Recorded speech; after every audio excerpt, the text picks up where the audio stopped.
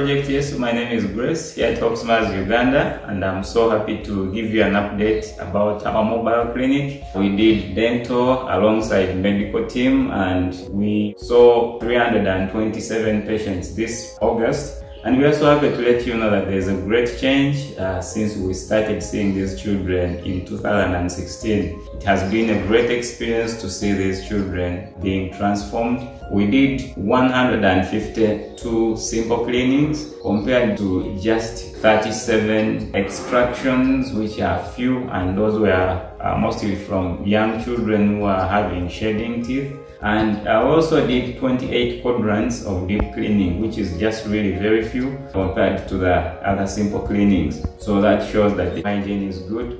And we also did 187 fillings and then the medical team saw 322 children. All of them were screened for HIV. There was no positive case. They were also screened for malaria. Malaria was rampant. There were 160 positive cases uh, reported and all those received treatment. They were also uh, tested for typhoid. There were some fewer cases plus other things like uh, upper respiratory infections uh, which were quite many. There were a lot of doses uh, of medications which were dispensed in that session and many other miscellaneous things and of course all the children were dewormed as usual.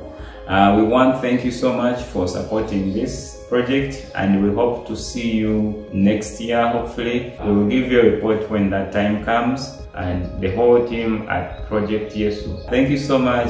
Bye bye.